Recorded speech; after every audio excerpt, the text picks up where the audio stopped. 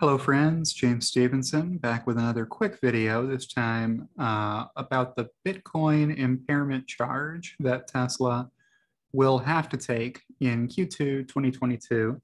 I'm joined by my co-host here, uh, as I was last week. This is Loki. Say hi to everybody at home, Loki.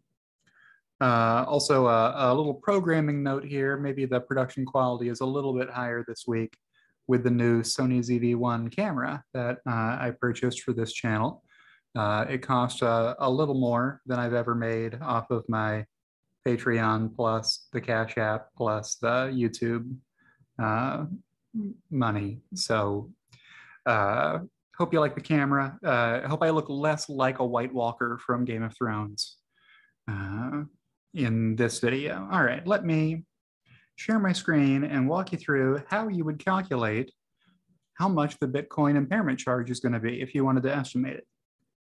So I will share my second screen here, which you may be accustomed to seeing if you've seen my previous videos.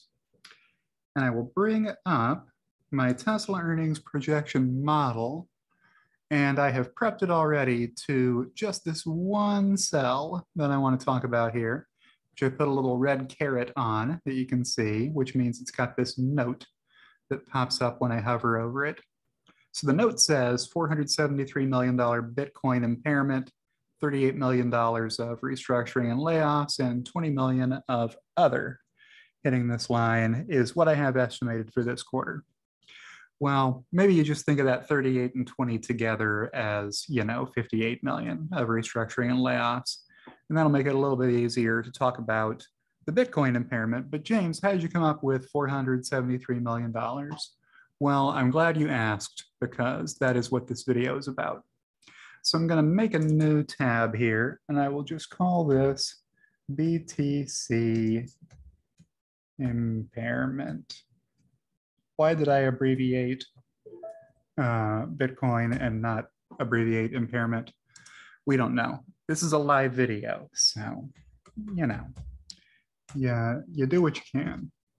Okay, I'm gonna go to the home menu and I'm gonna pin my home menu up here so I can do some formatting a little faster that way. So I've plugged in the number 28,814. Why would I do that? Well, this is an input assumption here, so I'm gonna put it in a yellow shaded cell with blue font because that is my habit. And I'll just drag that down in case I need some more inputs. For this one, I'm gonna call this the prior low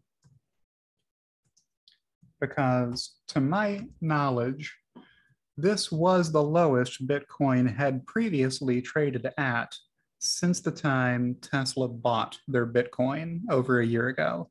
So I think on June 22nd, 2021, the low was, uh, the previous low was 28,814. Then in this cell, I'm gonna type 17,601.58. Why? Because I think that was the Q2 2022 low. All right, uh, so I think on June 18th, 2022, uh, that was the lowest anyone was able to buy Bitcoin. All right.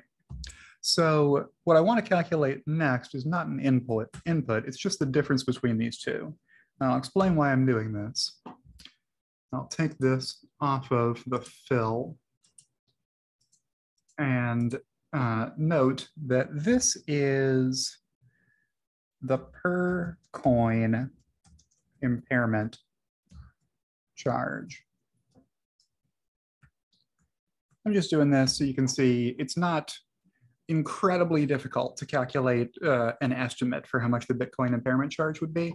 So if this was the previous low basis that Tesla has reported as of the last quarter that Bitcoin hit a new low price, and if this is the amount Tesla records as the low during Q2, which I believe it was, then for every Bitcoin Tesla owns at the end of Q2 2022, which just ended, uh, they have to take a hit to their um, uh, restructuring expense line.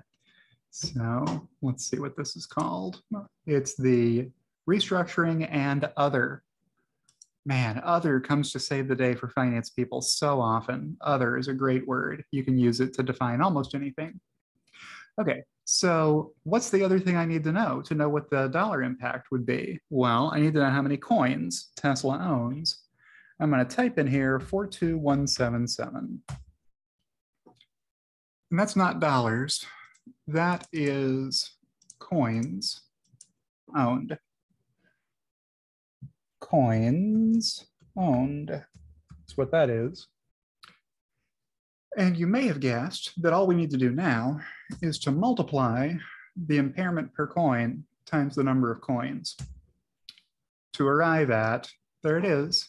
Hey, that number is $473 million. Yeah, and change. Uh, I rounded this off to 473 because this is not rocket surgery. Uh, precision is not needed when you're going to be off by many, many millions of dollars, uh, no matter what. So uh, let me zoom in here so you can see what I'm looking at. And I apologize that I did all of that work without zooming in there because uh, that's one of the things that I'm trying to do better at is to make sure these are big enough you can see them. So there you go. This is the Q2 estimate for Bitcoin impairment. And that is how I got there. And I did have some math around the uh, other charge that's going to hit uh, in that same bucket, the restructuring and layoffs. But uh, that is not what this video is about. I want to keep this one short. So uh, I will stop sharing my screen and say, if you've liked this video, you can click the like button. If you're not subscribed to my channel, uh, you could subscribe. And uh, that might be good. Hey. Oh, there I am. What? Come on. Did my camera die mid video? Ah, oh, that's terrible. So it had to, okay. So now you're back to the integrated webcam. Awesome. Well, that, that just about ruined my outro. But but instead of re-recording this video, I will release it anyway, as is. The battery died on my camera. I don't know why the battery died. Uh, it's a new camera. I'll figure it out. Uh, if you are not subscribed to my channel, why not go ahead and subscribe to my channel? And uh, I will see you in the next one.